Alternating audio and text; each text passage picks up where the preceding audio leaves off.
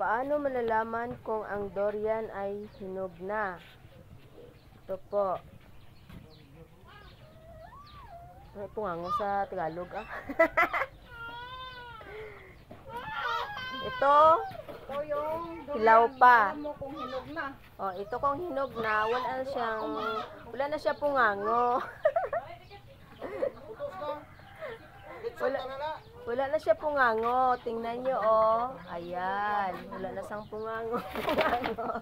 Ano pungango sa Tagalog, Les? Wala na. Wala siyang pung, oh, ayan pungango. Ano, Pero kung, dulo niya, kung hilaw pa, Ilagay mo. Yung, yung hilaw pa, ito yon. oh, kung hilaw pa ito, mayroon siyang, ano, pepitoy. I-vlog ko bala ni, ano, na ko bala, YouTube. ito siya.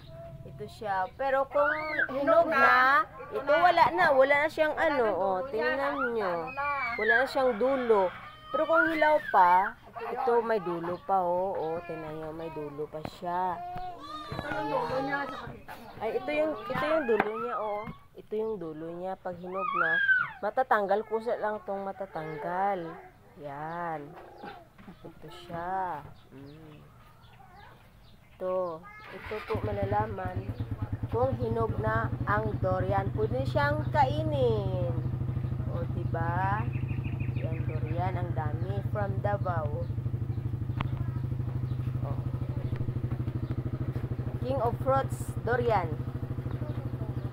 Okay.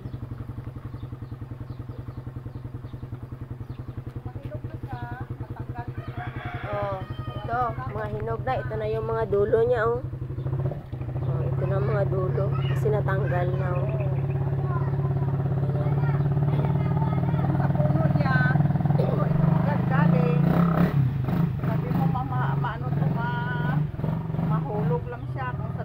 Ayo, ayo, mo.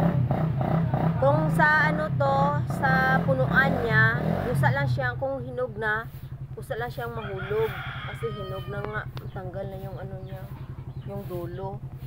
Pero kung hilaw pa, ito siya. Ayan.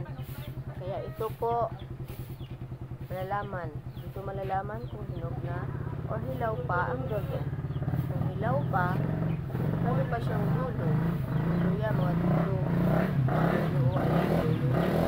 Pero kung hinog na, ito, wala siyang dulo. Itatanggal po siya. Pwede nang kainin ang Dorian King of Fruits. Bye!